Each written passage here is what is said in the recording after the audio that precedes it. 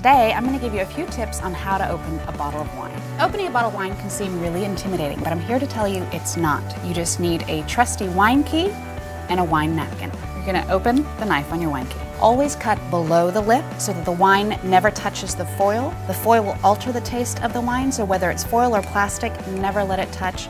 Always cut below the lip. Pull the foil up and twist it off. Then I'm going to place the corkscrew right in the center of the cork.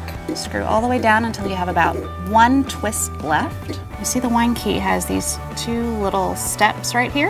You're going to use the top one and pull up. So it's about halfway out. Use the second one, pull even further up. So now you're going to be tempted to pull the wine cork out with this corkscrew, but you don't want to do that because you're likely to splatter all over the place. And instead, use your hand and twist. Gently pop it right off. Now comes the fun part. And when you pour your wine, use a napkin. That way you don't get any drips on the tablecloth. Cheers.